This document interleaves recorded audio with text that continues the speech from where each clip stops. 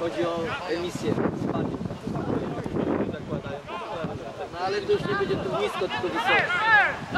Idziesz, idziesz! Nie ma spalonego! Pomylił się, nie, on się... Chciał machnąć. Dobre!